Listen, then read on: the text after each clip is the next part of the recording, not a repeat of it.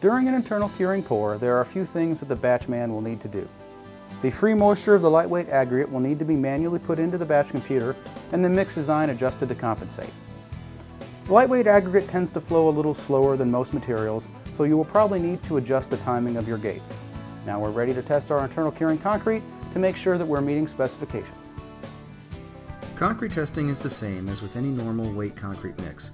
We will check the concrete slump, unit weight, air content, and yield to ensure it meets the specification before sending it to the job site. By the way, the use of a volumetric air meter is not necessary. The use of a regular pressure meter is adequate.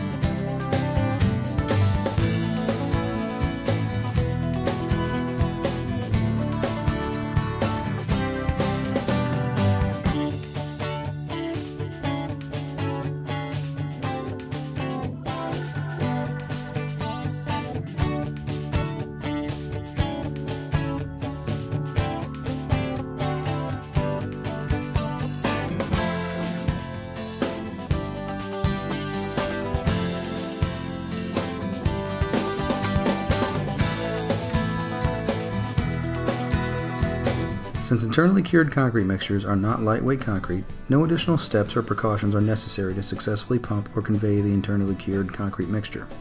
Internal curing does not replace conventional surface curing, but works with it to make concrete better. Internal curing can also help compensate for less than ideal weather conditions and poor conventional curing that is often seen in the real world.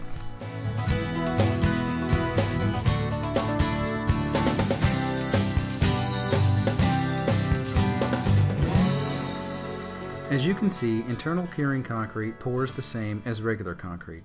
No special equipment, tools, or procedures are needed to finish it.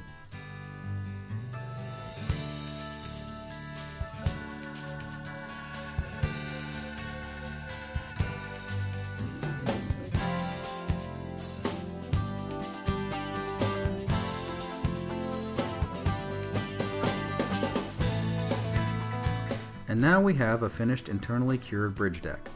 Let's go back to bridge 157 and see how the internal curing process has prepared it for the winter. A visual inspection of the bridge shows no cracks of any kind along its surface, offering no place of entry for freezing water or chlorides to penetrate the bridge deck and cause damage. Internal curing allows the concrete to cure in such a way that its durability and life cycle is radically increased, with limited tax dollars in federal, state, and local treasuries, IC will help stretch these funds by making concrete more robust and extending its service life. Internal curing of concrete is an economical and sustainable solution to help repair our crumbling infrastructure. Please visit escsi.org to find additional information about internal curing. You may also contact your local lightweight aggregate supplier for further information and assistance on your IC project.